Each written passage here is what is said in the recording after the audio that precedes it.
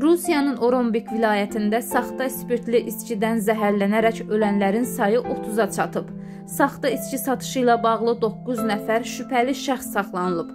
Onlardan 3-ü Azərbaycanlıdır. 1992-ci il təvəllüdlü Şirvan Səxavət oğlu Babazadə, 1986 və 1987-ci il təvəllüdlü Əliyev adlı şəxslər də daxil olmaqla saxlanılıblar. Barələrində 2 ay müddətində həbs qəti imkan tədbiri seçilib.